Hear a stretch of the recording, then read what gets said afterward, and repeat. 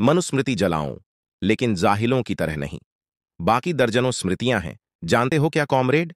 ब्राह्मणवादी quiz number three Bharat में किस शासक के समय मनुस्मृति से शासन निर्देशित होता था? इसका सीधा सा जवाब है, किसी के समय नहीं। मनुस्मृति कभी भी भारत में शासन का ज़रिया नहीं बना है। वस्तुतः स्मृतियाँ क्या हैं? स्मृति का अर्थ ही हुआ वे धर्मग्रंथ जो ऋषियों ने समाज के सम्यक संचालन के लिए अपनी याददाश्त के आधार पर लिखे। सनातन में श्रुति और स्मृति की परंपरा रही है और सारे ग्रंथ भी इसी आधार पर विभाजित हैं। श्रुति का अर्थ सुना हुआ और वेदों को कुल चार यह मानते हैं, क्योंकि उन्हें अपौरुषेय भी मानते हैं, किसी का लिखा हुआ नहीं मानते। कुछ लोग पुराणों आरण्यकों को भी इनमें गिनते हैं, लेकिन मूल विचार केवल वेदों को श्रुति मानता है।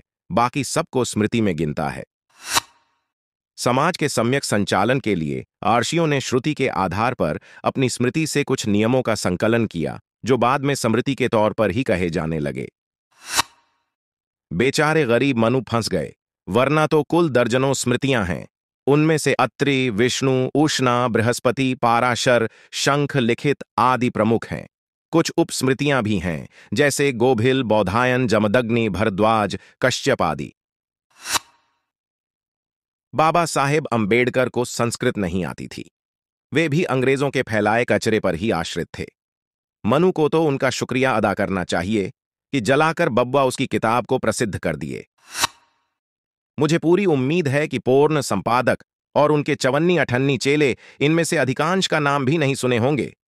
जानने की तो बात ही क्या? क्षेपक वगैरह की तो मैं बात ही नहीं करूँगा, क्योंकि जिस तरह ग्यारह हज़ार श्लोकों का जय आज एक लाख श्लोकों का महाभारत है कौन सी मनुस्मृति भाई लोग जला रहे हैं, उनको भी पता नहीं है। पता चला कि एक हज़ार नौ सौ सत्तावन में किसी धूर्त ब्राह्मण ने अपनी किसी उलट बांसी को मनु के नाप पर छेप दिया है। मुख्य बात यह है कि वह शासन का कहीं कोई आधार रहा हो, ऐसा प्रमाण नहीं है। केवल मनुस्मृति नहीं बाकी स्मृतियाँ भी जलाओ उनका भी प्रचार करो।